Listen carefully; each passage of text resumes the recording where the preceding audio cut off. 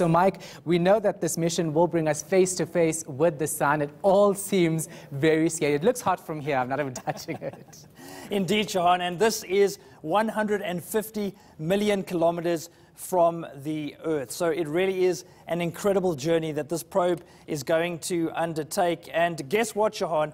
It is little bigger than the average Hyundai Getz. This is really the size of this probe, which is going into space. It's, it's basically a, a small car, really, which is blasting off from Florida in the United States. And how is it going to work, Shahan? Well, it'll take off from the Earth. And as you mentioned, it is going to do effectively 24 orbits around the sun. The problem, though, Shahan, is when you're traveling in space at such speeds, it's very easy to lose direction. You can really go off kilter quite quickly. So you see that second planet over there, that's Venus, and it's going to be using Venus and its gravitational pull, Shahan, basically to make sure that it stays on track. So really think of Venus as uh, the probe's GPS, helping it to keep its direction and making sure that it goes on towards the sun. The physics of all of this really is uh, fascinating, Sean. But here's an actual photo of the probe itself. You'll see there, that's the shell of the rocket, which is going to propel it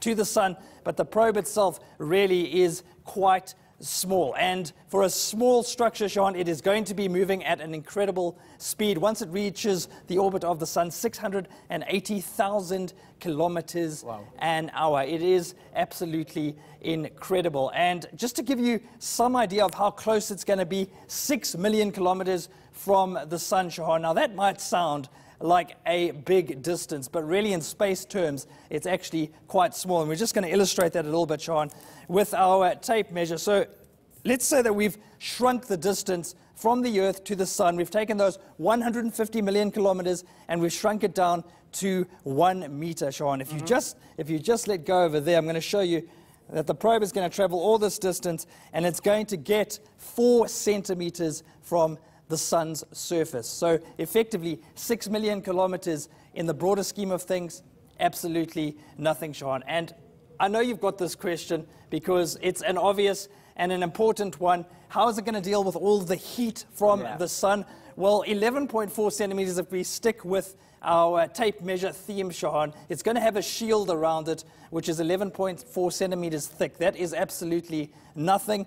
But NASA has been telling us that the materials in that shield are incredibly robust, really, really strong. They can withstand uh, crazy temperatures. So uh, fingers crossed it doesn't get burnt as it heads towards the sun. Temperatures, Shahan, it's going to be exposed to uh, temperatures as high as 1,377 degrees Celsius. Just to give you some context, if you've ever burnt yourself while maybe boiling the kettle for that cup of coffee, uh, that's around 90, maybe 95 degrees Celsius. So uh, the, the temperatures that this probe will have to deal with almost 14 times hotter than that uh, kettle which you're boiling for your coffee.